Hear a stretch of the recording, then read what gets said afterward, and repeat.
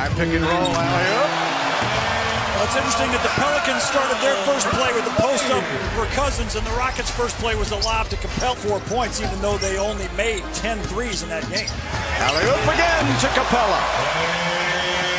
Hard to tell with these two the way they've started. Well, Ryan Anderson says, remember me, fellas? I used to play in New Orleans. Shooting department. New Orleans shooting 82% here in the first quarter. Nene checks in, and that's old school. Alley-oop. Good job of cutting to the basket off penetration. Juan Moore with 10 points. Nene again. Beautiful pass from Harden. And he misses. That was a heat check. New Orleans averages 33s attempted a game, and Eric Gordon trying to get back on track here in the first quarter tonight so they stay hot. There's a turnover by Asher. Eric Gordon puts up a three, and he got it. Six in the NBA in blocks per game. Davis is number five, and Cousins number nine. Oh, Capela leads the league in slam dunks. Harden. Alley-oop again.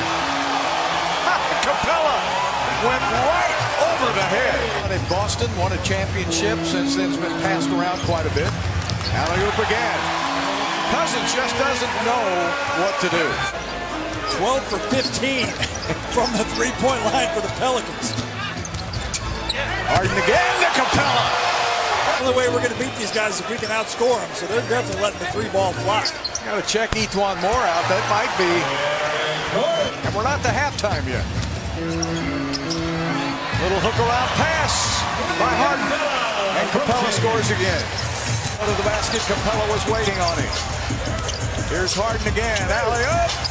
And Capela doesn't slam it. He was a little off balance. Nine points by New Orleans. Another bounce pass to Capela. The pass by Rondo. Inside to Capella. The game is tied at 112. Holiday trying to get it to Cousins. Good defense by Houston. Here's Harden in the open court. Harden, alley-oops to Capela.